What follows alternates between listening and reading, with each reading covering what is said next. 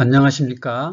여성 방광염 치료의 강력한 두 가지에 대해서 이 시간 말씀드리겠습니다. 여성 감기라고 불리우는 질염과 방광염은 피곤하면 재발하는 특징을 가지고 있습니다. 항생제 남용으로 인해 내성이 증가하여 난치성 방광염 환자도 증가하고 있습니다. 방광염 치료와 재발 예방을 위해서 항생제가 아닌 효과적인 두 가지 치료 물질을 소개합니다. 여성 감기라고 불리는 질염과 방광염은 피곤하면 재발합니다. 여성 생식기 구조상 질염과 방광염은 자주 생길 수밖에 없는데요. 이게 심해지면 요관을 타고 올라가서 신우신염에 걸릴 수도 있습니다.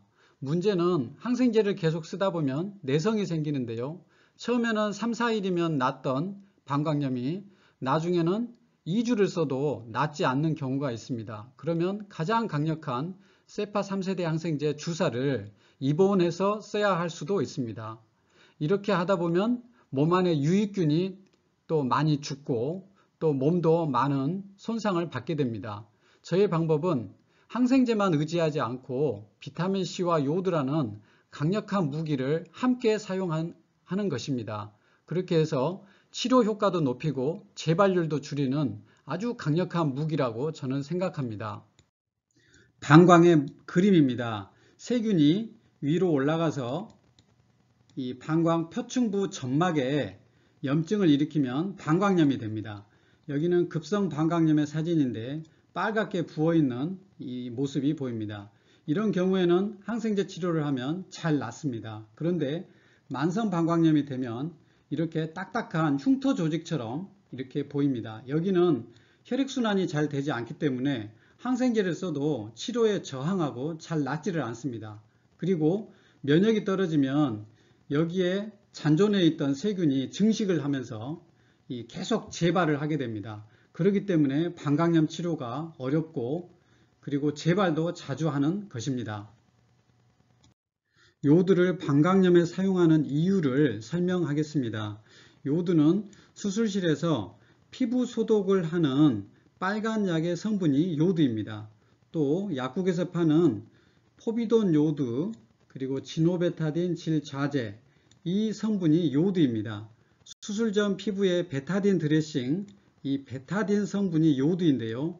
1분 내에 90% 미생물을 사멸시킵니다. 어떤 기전으로 사멸시키냐면 이 유해 미생물의 세포벽 또 세포 안으로 들어가서 세포 내 특정 아미노산과 요드가 결합해서 그 아미노산을 산화시킵니다.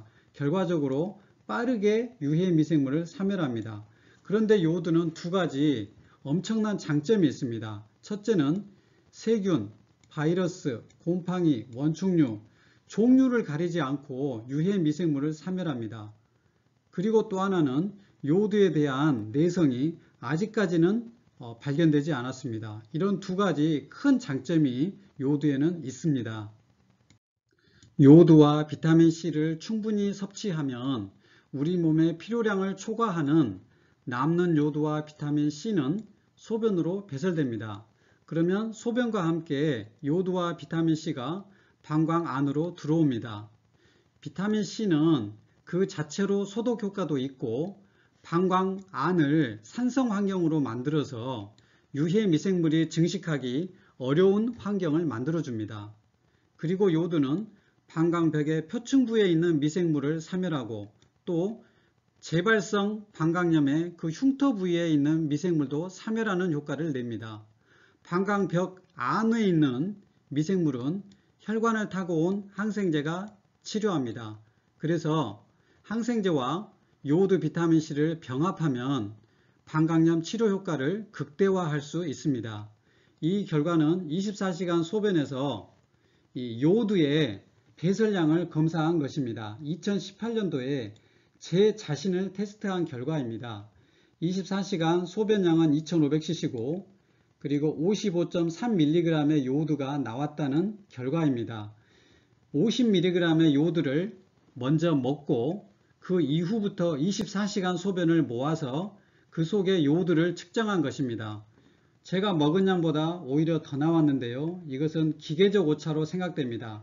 이처럼 많은 요두가 소변에, 소변에 배설된다는 것을 보여드리기 위해서 이 결과지를 예, 여기에 실었습니다.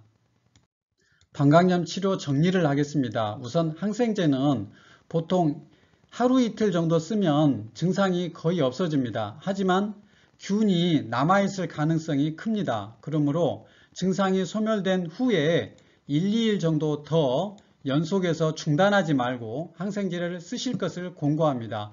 보통 4, 5일 정도 걸립니다. 주사는 저는 3일 연속 맞는 것을 권하는데요. 이것은 어, 재발률도 줄이고 치료 효과를 극대화하기 위해서입니다. 비타민C는 보통 건강한 분들이 하루 6g 정도를 추천하는데요. 방광염이 있을 때는 12g까지 그리고 설사를 하지 않고 특별한 어, 부작용이 없다면 그 이상도 어, 드시는 것도 좋다고 생각합니다. 요드는 한국에서 키노다인이라는 상품명으로 나와 있습니다. 하루에 2정 정도 또는 그 이상 어, 드시고 최소한 2주 이상 드실 것을 추천합니다. 그리고 평소에도 하루에 한 알 정도는 꾸준히 드시는 것이 건강에 유익합니다. 그리고 중요한 것은 어, 충분한 휴식, 그리고 충분한 수변, 수분 섭취, 충분한 수면 이것이 면역력을 키워줍니다. 꼭 이것도 어, 같이 해야 됩니다. 그리고 이런 영양제도 같이 드시면 유익하겠습니다. 지금까지 방광염 치료에 대해서 말씀드렸습니다. 감사합니다.